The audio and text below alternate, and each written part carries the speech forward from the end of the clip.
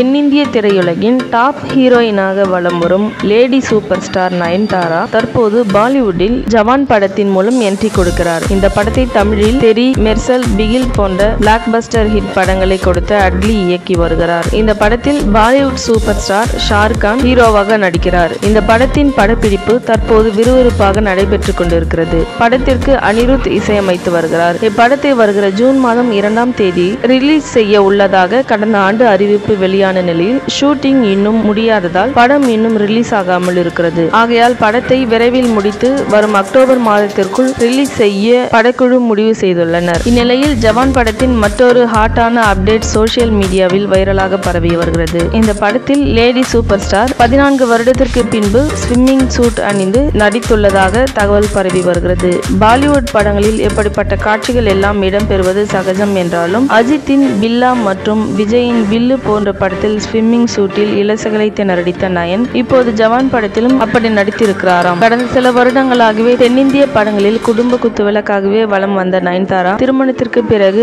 அவருக்குள் இப்படி ஒரு மாற்றமா என இந்த விஷயத்தை தெரிந்த பலரும் வாயெடுத்து போயுள்ளனர். ஏற்கனவே திருமணமாகி இரண்டு குழந்தைகள் வேறு இருப்பதால் நயன்தாராவின் மார்க்கெட் படுத்து விட்டதால் அதையெல்லாம் தட்டி தூக்க வேண்டும் என்ற முடிவுடன் கவர்ச்சி பக்கம் திரும்பியுள்ளார். இருப்பினும் இந்த தகவல் எந்த அளவிற்கு உண்மை என்பது படம் ரிலீஸ் ஆனால்தான் தெரியும். தெரியும். இந்த வீடியோ உங்களுக்கு பிடிச்சிருந்தா லைக் பண்ணுங்க ஷேர் பண்ணுங்க கமெண்ட் பண்ணுங்க. மறக்காம நம்ம சேனலை சப்ஸ்கிரைப் பண்ணுங்க.